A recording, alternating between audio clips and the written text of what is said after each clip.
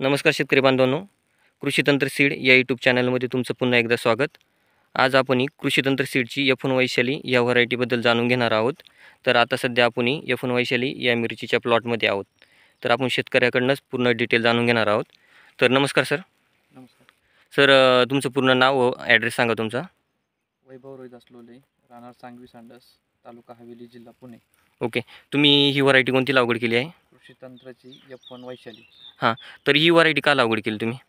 या व्हरायटीसाठी म्हणजे हिचं उत्पन्न जास्त प्रमाणात हं, आणि रोग रोगप्रतिकारशक्ती जास्त म्हणजे कमी प्रमाणात हे होतं. त्याच्यामुळे आपण हिचे आणि माल भरपूर प्रमाणात लागतो. ओके. तर तुमचं म्हणजे हे याला मार्गदर्शन व नियोजन कसं चालू आहे? कोणाद्वारे चालू आहे? तुमच्याद्वारे साहेब अं, नि- निलेश कानवडे साहेब यांच्याकडून आपण सर्व मार्गदर्शन त्याच्या त्यांच्या ह्याच्याखाली चालू आहे. Okay okay. आत्तापर्यंत किती ड्रिचिंग केलं तिला?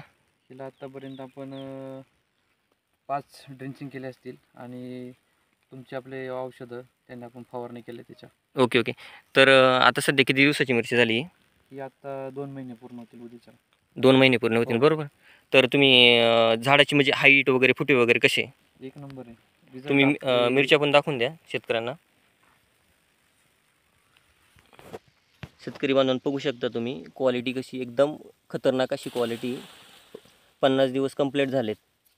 म्हणजे आता आसपास या महिना एंडिंगपर्यंत हिला दोन महिने कंप्लीट होतील व दहा दिवसामध्ये हा प्लॉट स्टार्ट होऊन जाईल.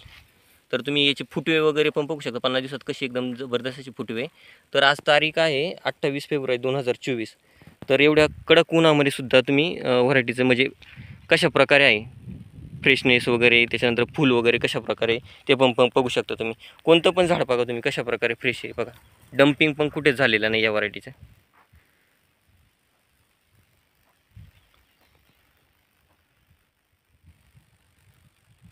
कंपेअर टू अदर व्हरायटीचं दुसऱ्या व्हरायटींपेक्षा या व्हरायटीला स्प्रे जास्त लागतं कमी लागतं? कमी लागतात कमी लागतं? हो. तर तुम्ही शेतकऱ्यांना काय सांगू शकता? माझी तर इच्छा आहे सर्व शेतकऱ्यांनी एफ वन वैशाली ही व्हरायटी लावावी. हं, हं. आणि म्हणजे क्वालिटी वगैरे चांगली आहे तिची चमक वगैरे चांगली मार्केटला पण खपायला चांगली आहे ती म्हणजे मिरची. हं. म्हणजे सर्व शेतकरी लावली तरी आनंद म्हणजे हेच आहे.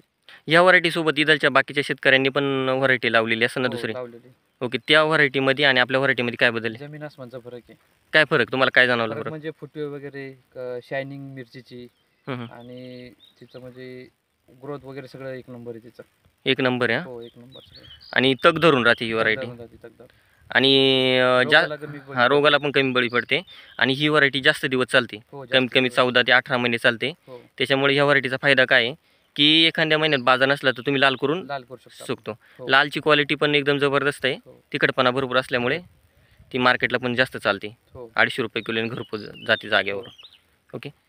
तर अं, धन्यवाद सर तुम्ही या व्हरायटीबद्दल मार्गदर्शन दिल्याबद्दल व सांगितल्याबद्दल.